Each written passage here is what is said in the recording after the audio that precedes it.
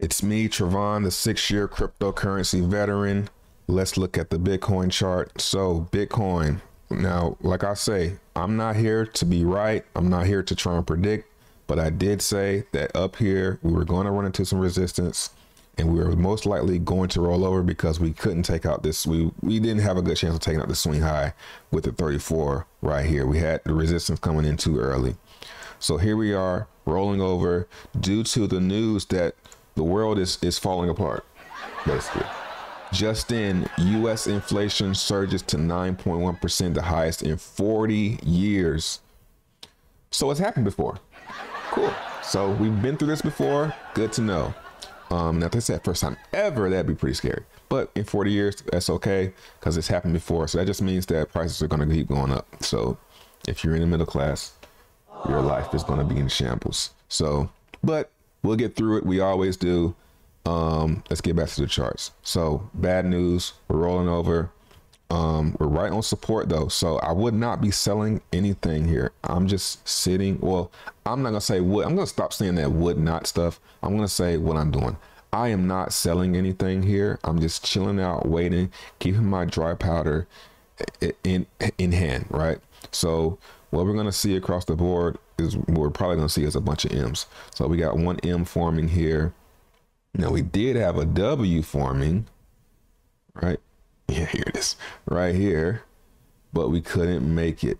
We needed to get to here to make this a W. But we're having an M for sure because we can see it right here on top of the support, right on top of the line where you would draw the, the M on a piece of paper. That's where the support is breaking. So once, like I said, break below here, it's not looking good. If we break and close below here, it's really not looking good. We did try to get a fake wick up. Now we gotta wait till this day closes. Let's move on. See what's up the most.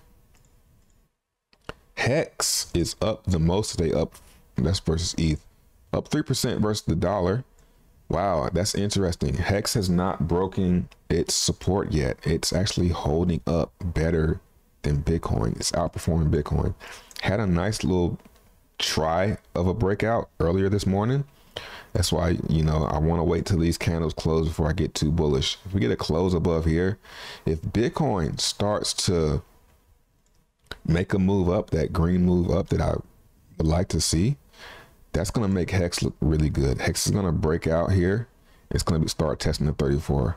If it can get above the 34 or get above this resistance right here, four cents, man, Hex is going to be looking to make its W. Um, that we've been talking about for a while. It's not, it's really having a hard time. So we'll see. Um, AVAX, another one doing better than Bitcoin, but broken support. Close below. It's not good. Now we had the bullish cross on AVAX, but if you've been following me for the past six freaking years, you know that I hate this um, bullish cross with the price below the cross. It's like a negative. It's like two negatives crossing out. So AVAX, I think I think everything's gonna roll over. I think everything's gonna look green for maybe a little bounce, but I think we're ultimately going to stall out somewhere and roll over because we're not gonna be able to make it back up to here. That's what needs to happen to to keep this move going. We need to go all the way back up to here. It just doesn't happen like that in a short period of time. to go straight there. We can't stall out. Um, so we'll see. SHIB, another M. These and then these M's are the bad ones. These aren't the good M's. Breaking down, if it breaks below the 34 here, it's to be looking pretty bad. Um, SHIB just not looking. It's looking better than a lot of stuff. It went up. It went up more, but nothing is immune, man. Matic breaking down. It had a bullish cross. Had a huge run up, just like SHIB, but it's breaking down as well. It's looking to make an M. Um, I think these things like SHIB, Hex, AVAX, they have a longer way until they get to their swing lows, which I'm going to pretty much be talking about.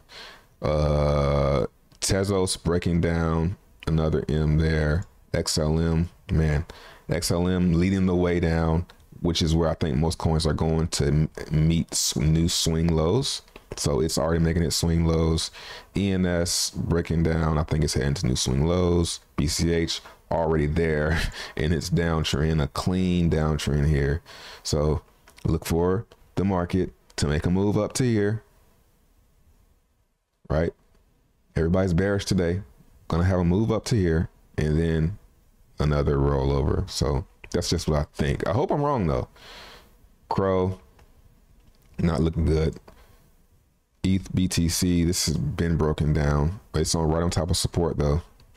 ETH USDC, uh, on support. Litecoin, everything's making an M, and everything's making an M sitting around support. So, like I said, I wouldn't be selling today, um, but it does look bad. But that's why I don't want to sell. You know, you don't want to sell when it's looking bad.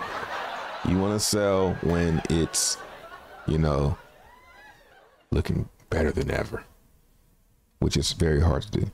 Um, Sol breaking down, making an M, sitting on the support.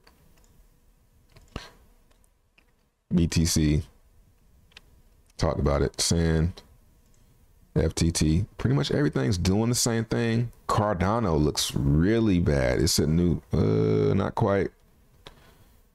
Might as well say hit new lows. Um, it is now trapped under the support. I told, Not here to be right, guys. I'm just pointing out the fact that I didn't have a good feeling about this support line right here. Um. So yeah, man.